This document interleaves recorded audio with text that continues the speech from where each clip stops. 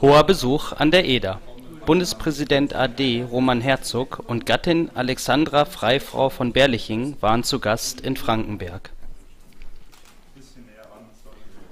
Im Trauzimmer des historischen Rathauses trug sich das ehemalige Staatsoberhaupt in das Goldene Buch der Stadt Frankenberg ein.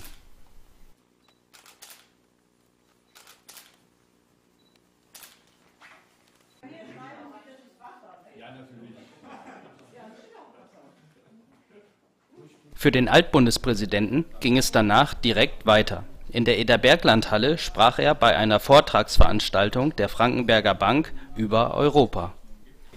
Europa ist heute für viele von uns einfach ein Musterbeispiel für überbordende Bürokratie und Normsetzung.